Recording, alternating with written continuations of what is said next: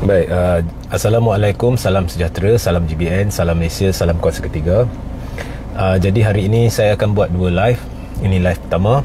Jika audio jelas, boleh tolong maklumkan kepada saya. Uh, baik, tujuan live pertama ni adalah berkenaan dengan satu pendedahan yang telah dibuat oleh seorang individu uh, berhubung dengan satu skandal tanah di Selangor yang telah dikaitkan dengan uh, MB Selangor ya dari PKR atau PH ya. So pendedahan ini banyak perkara-perkara yang telah didedahkan untuk sekian lama. Ia berlega di media sosial ia menjadi uh, tular. Dan seperti juga kes uh, dakwaan-dakwaan yang dibuat berhubung dengan uh, banglo rumah uh, milikkan Anwar tu ia sudah jadi perbualan ramai tetapi uh, saya lihat tidak ada respon tidak ada penjelasan yang diberikan sama ada oleh MB Selangor kerana pendedahan itu mengaitkan MB Selangor pihak yang membuat pendedahan itu mahupun penjelasan daripada Anwar selaku uh, uh, uh, Perdana Menteri yang uh, di mana MB Selangor ni sebahagian daripada uh, kumpulan uh, parti-parti yang mentadbir negara yang berasaskan kepada janji Anwar bahawa dia hendak menolak ketirisan, dia hendak menolak rasuah dan sebagainya. Jadi tidak ada penjelasan.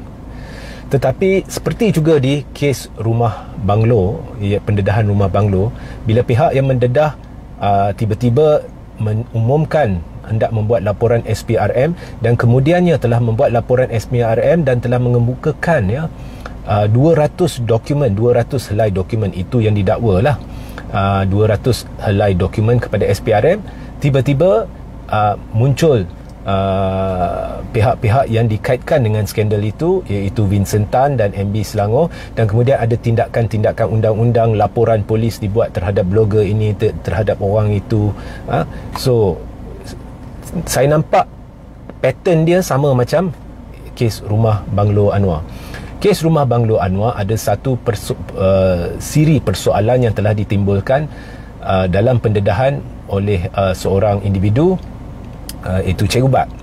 Dan kemudian berdasarkan pendedahan itu tidak ada penjelasan daripada Anwar.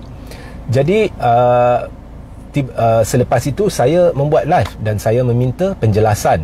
Bukannya saya dakwa apa-apa. Saya minta penjelasan supaya elak daripada persepsi negatif, persepsi palsu dan saya berikan contoh-contoh sebab kejadian ini tidak mustahil melibatkan proksi, nomini, uh, berbagai gejala untuk cuba elak daripada uh, berlak, uh, meng, meng, mengumumkan aset atau mengisytiharkan aset secara telus.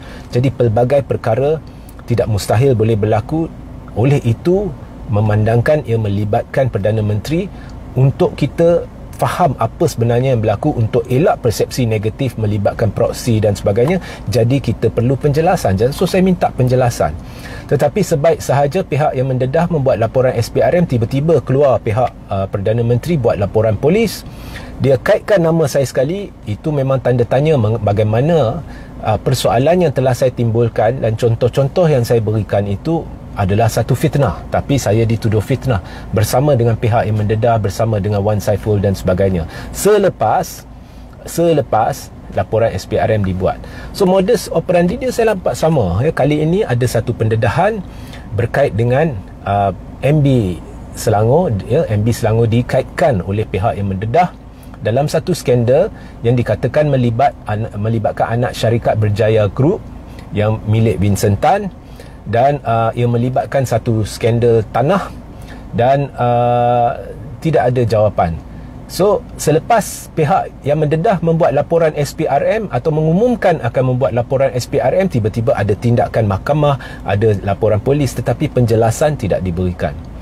So dalam pendedahan yang dibuat tu ada satu perkara yang menarik perhatian saya dalam banyak-banyak pendedahan tu saya tak nak komen sebab dokumen bukan saya ada baca saya ada lihat dan sebagainya. Tidak ada. Ya. Saya tak suka kalau dokumen uh, yang saya tak pegang lihat rasa di tangan kemudian saya buat komen saya tak saya tak suka. Saya tak pernah buat begitu. Ya. So uh, tapi satu perkara yang menarik perhatian saya iaitu itu uh, pihak yang mendedah mendakwa sebenarnya ada satu syarikat SPV iaitu syarikat penggerak khas syarikat ni kononnya milik kerajaan negeri. Tetapi menurut pihak yang mendedah ni ianya bukan milik kerajaan negeri.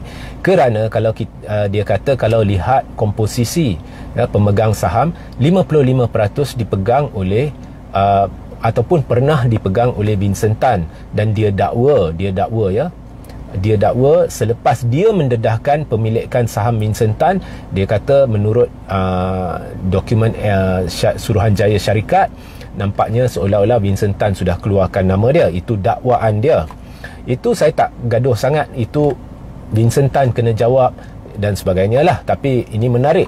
Sebab dia kata oleh kerana pemilikan saham 55% itu bukannya melibatkan kerajaan negeri maka majoriti saham tu uh, maka syarikat tu bukannya dianggap di bawah kawalan ataupun milikkan kerajaan negeri. So itu saya tak gaduh sangat. Itu saya biarkan antara uh, pihak yang mendedah dengan pihak yang didakwa terlibat uh, masing-masing kena jelaskan perkara ni ya tetapi satu perkara yang menarik yang telah didedahkan ialah di dalam syarikat penggerak khas itu atau SPV itu ada penglibatan Amiruddin Syari iaitu MB Selangor dan seorang lagi Exco Selangor.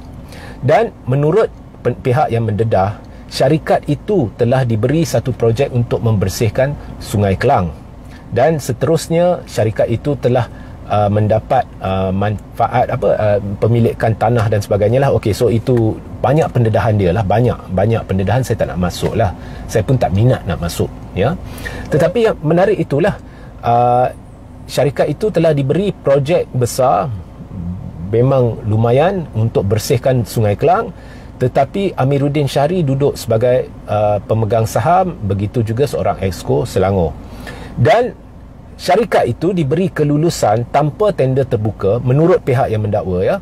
Syarikat itu diberi kelulusan tanpa tender terbuka untuk projek membersihkan Sungai Kelang itu oleh kerajaan negeri. Kerajaan negeri itu siapa? Men, uh, menteri besar dia Amiruddin Syahri. Dan Esko yang uh, yang terlibat dalam syarikat itu juga adalah ahli kerajaan negeri. Jadi kalau benar dakwaan ini di, uh, pihak yang mendakwa ada juga mendedahkan uh, dokumen S, uh, syari, Suruhanjaya Syarikat Malaysia yang sebenarnya kalau saya nak saya pun boleh korek saya pun boleh dapatkan. Uh, daripada SSM ada cara nak dapatkan. Tapi saya tak minat buat pendedahan-pendedahan begini. Tetapi memandangkan pendedahan sudah dibuat dan ada satu surat dokumen syarikat uh, Suruhanjaya Syarikat Malaysia. Di situ ada tersenarai pemegang saham saya tak tahu dokumen itu sahih ke tidak tetapi di situ ada nama Amiruddin Syahri dan ada nama Exco. Jadi uh, kalau benar dokumen itu maknanya uh, kalau benar pendedahan ini maknanya uh, pihak yang mendedah mendakwa bahawa kerajaan negeri di bawah Amiruddin Syahri telah meluluskan projek kepada sebuah syarikat SPV yang Amiruddin Syahri sendiri pemegang saham untuk bersihkan sungai uh, Kelang dan syarikat itu adalah anak syarikat uh, berkait dengan Berjaya Group. Okey. So di situ pertama kita perlu penjelasan daripada Amiruddin Syahri benarkah uh, kesahihan dokumen S, uh, Suruhanjaya Syarikat itu bahawa Amiruddin Syahri ada pegang saham? So dia perlu jelaskan. Kita nak tahu dokumen tu sahih ke tidak? Pendedahan tu sahih ke tidak? Ya. Dan kedua jika benar Amiruddin Syahri duduk dalam syarikat tersebut bagaimanakah dia boleh sebelaku menteri besar? Dan bagaimanakah kerajaan negeri boleh luluskan satu projek lumayan kepada syarikat itu tanpa tender terbuka? Kerana ia melibatkan konflik kepentingan ya. Ia serupa de, uh, adakah adakah ini bermakna uh, menerusi proses ini uh, Amiruddin Syahri telah dirasuah oleh uh, berjaya. Ya uh, ini Amiruddin Syahri perlu jawab. Ini berjaya group perlu jawab. Ya benar atau tidak pendedahan ini. Sebab jika benar pendedahan ini akan timbul persoalan apabila Amiruddin Syahri meluluskan projek uh, selaku menteri besar kepada syarikat itu dan dia duduk dalam syarikat itu kemudian menerusi syarikat itu jika benar Amiruddin Syahri mendapat manfaat. Uh, contohnya uh, manfaat daripada pemilikan saham, allowance, ganjaran, gaji atau apa sekalipun maka ianya boleh jadi satu bentuk rasuah untuk kelulusan projek dan ada juga dikaitkan dengan satu pemilikan tanah oleh uh, syarikat itu iaitu Tanah Selangor. Jadi ini sudah jadi persoalan uh, salah guna kuasa, persoalan rasuah yang perlu dijawab. Ha, so benar tak pendedahan itu? Ha, kita perlu penjelasan. Nak ambil tindakan tu dia itu hak MB Selangor, itu hak Vincent Tan. Tetapi kepada rakyat perlu diberi penjelasan kerana isu ini sudah tular. So that is the long and short of it. Apa sekalipun perlu penjelasan.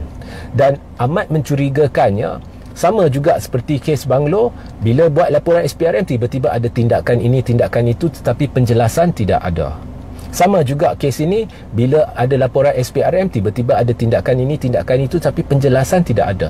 Kita bukan mendakwa. Pihak seperti saya bukan mendakwa. Yang mendakwa tu orang yang mendedahkan. Kita bertanya adakah benar pendedahan itu? Sekerana jika benar pendedahan itu maka sudah berlaku salah guna kuasa. Sudah berlaku elemen rasuah yang perlu disiasat.